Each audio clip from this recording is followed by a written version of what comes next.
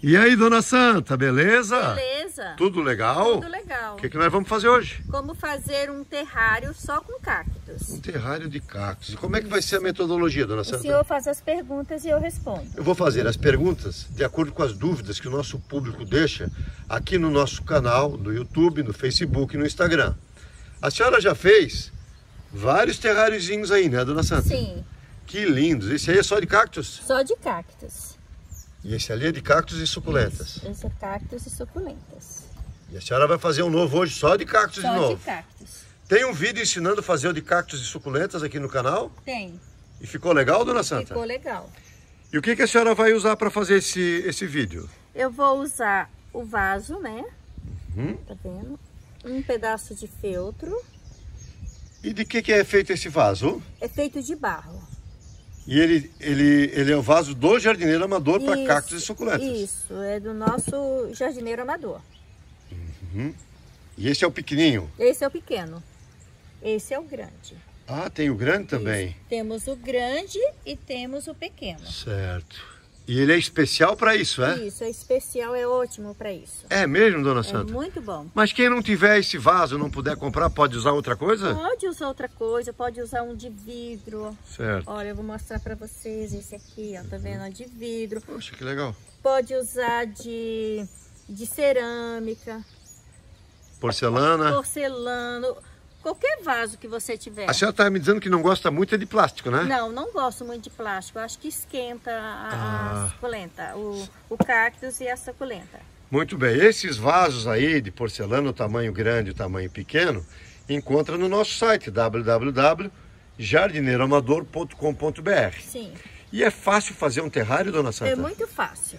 A senhora, ah, o vasinho é furadinho, né? Isso. Como é que começa? Vamos lá o passo a passo para fazer um terrário. Começo a colocando o feltro no fundinho do vaso para tampar o buraquinho, tá Ah, vendo? precisa botar um feltro. Isso. Quem não tiver feltro pode usar outra coisa? Pode usar o TNT, um pedacinho de malha, o isopor também pode usar. Uhum. E qual é a função desse feltro aí, dona Santa? É para drenar a terra, né? E não deixar também que o substrato venha sair pelo buraquinho. Por isso eu uso o feltro e um pouquinho de pedras, tá vendo? No fundinho, olha. Essa é uma pedrinha Isso. lavada de rio. Isso, é uma pedrinha, pode ser brita, tá? Pode ser isopor também. Ah, pode ser isopor? Pode, pode ser. Função é a drenagem. É, o que importa é a drenagem. E agora a senhora vai usar terra aí? Não, eu vou usar o nosso substrato também. Se encontra lá no canal do Jardineiro Amador. Tá no Tá vendo o site? substra... É, no nosso site.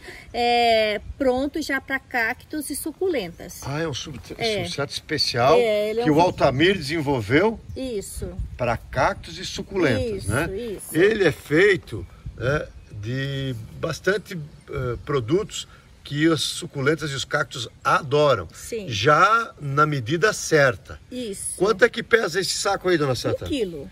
E dá para quantos vasos? Dá para dois vasos nesse tamanho aqui. Um pequeno e um, um grande. pequeno e um, e, e um um grande e um pequeno. Isso. Bom, e aí agora a senhora vai botar o Isso. substrato. Agora eu vou colocar o substrato. Mais nada. Mais nada, já é completo esse substrato. Olha aqui para vocês verem. Certo. Tá, ó. É um substrato, substrato completo. Ó, olha aqui.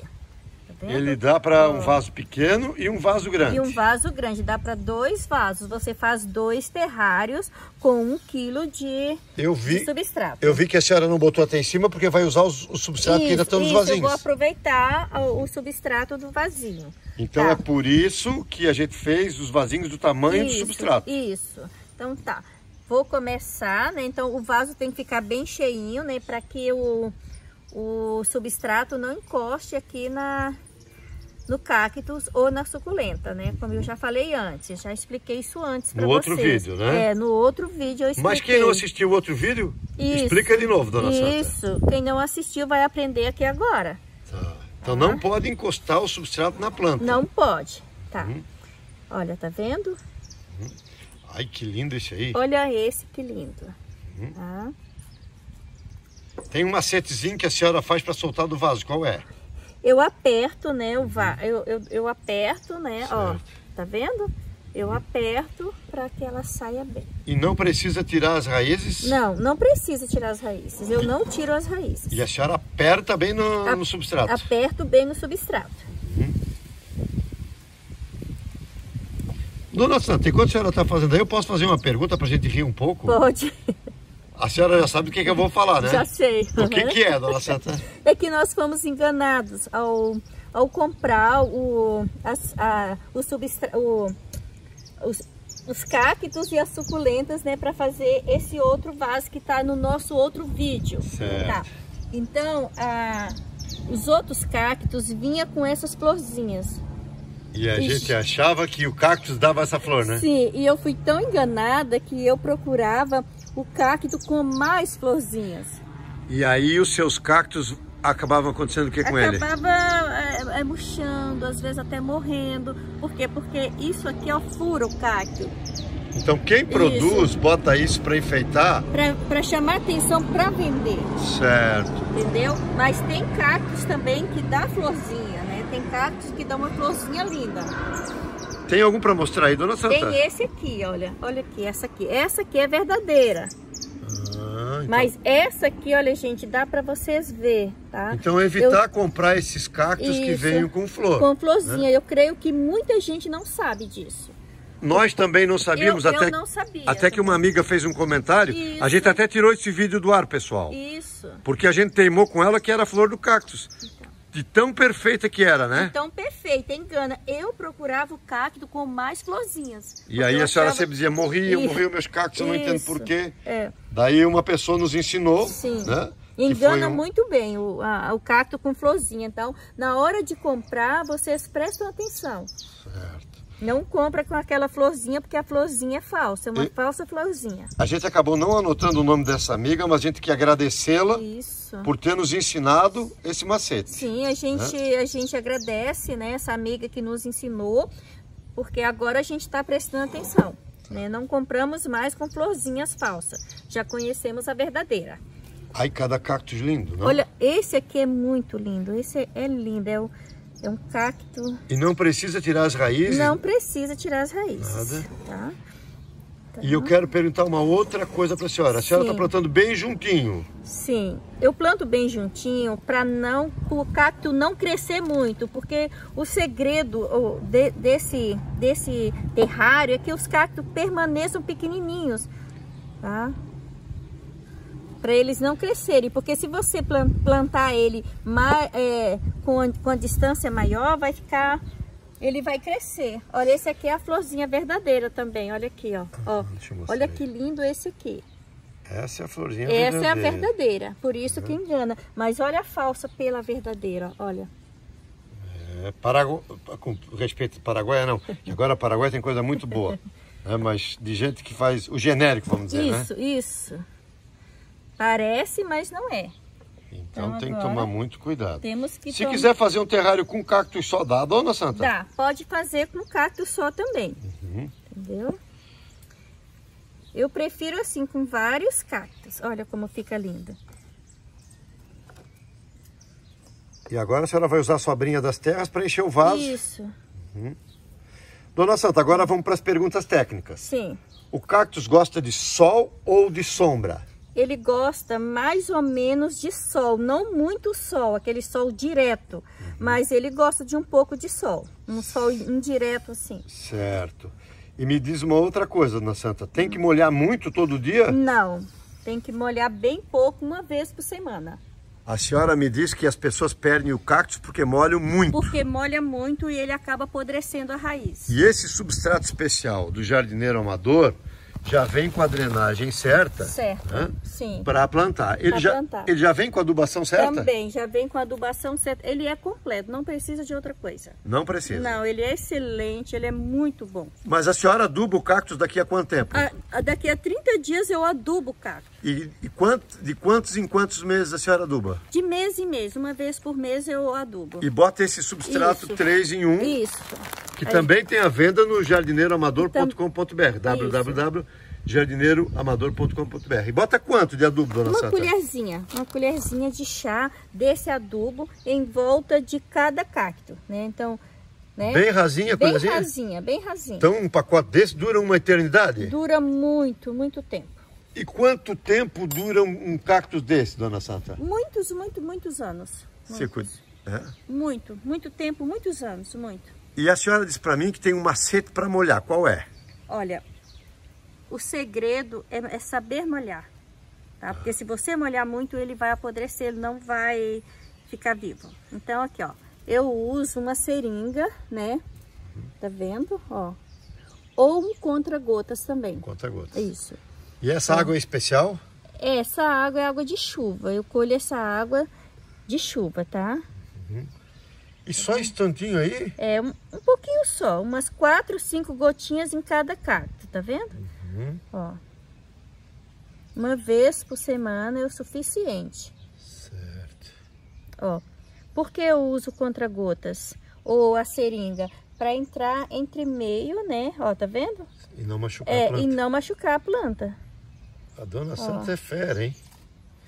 Hum? Olha, pessoal, olha aqui os, os, os, os terrários dela. Isso. Um mais lindo do que o outro, né? Sim. Todos com o vasinho do jardineiro amador e todos com o substrato do jardineiro amador. Isso. Esse aí já está plantado há mais tempo, dona Santa? Esse aqui já tá. Quanto tempo? Dois meses já. Poxa, que legal, hein? Olha como esse já tá lindo, tá vendo? Já tá vindo florzinha, uhum. tá vendo? Olha. E esse aqui? Esse foi feito hoje. Certo. Fizemos outro vídeo com Isso, ele, né? Fizemos hoje. E agora a senhora vai botar algum acabamento?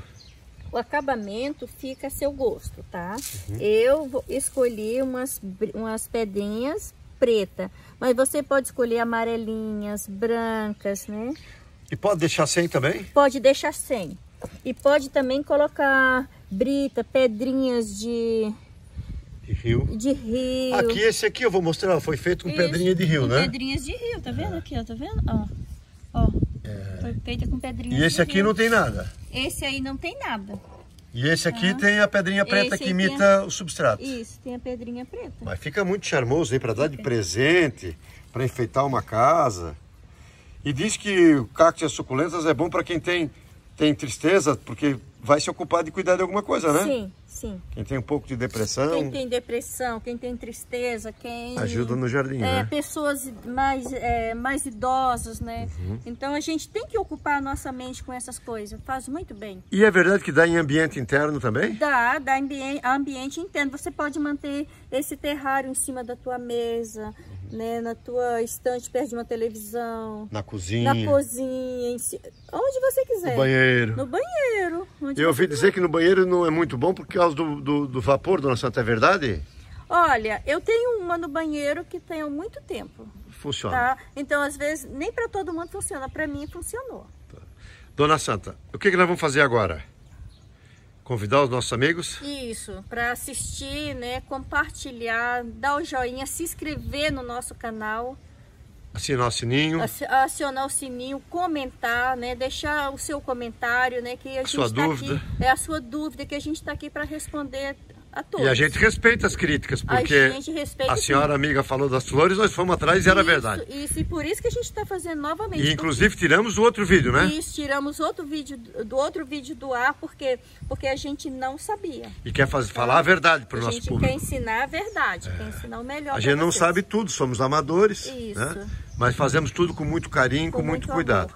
E agora a gente tem um blog, Dona Santa? Temos. E lá no blog ensinamos tudo sobre horta, pomar e jardim, é Sim, é isso? tudo a senhora, o Altamiro, o Rafa. Sim. Né? Sim. E está fazendo muito sucesso o nosso blog. Os nossos canais estão crescendo muito, tanto Sim. no Facebook, no Instagram, como no YouTube. Sim. E a nossa lojinha está indo de vento em popa também, né, Sim, dona Santa? Está indo. Temos vários produtos. Vários, vários produtos, tudo que você precisa para sua horta, para seu jardim, para fazer um terrário, para tudo. São excelentes produtos de primeira qualidade.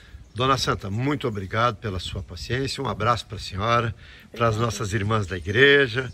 Que Deus abençoe muito Amém. e que ilumine a senhora com a sua bondade, com o seu carinho. Amém. Hoje aprendemos como fazer um terrário de cactos, né? aqui com as mãos abençoadas da nossa irmã Dona Santa. Pessoal, um abraço, um abraço, Dona Santa, muito obrigado. Eu que agradeço.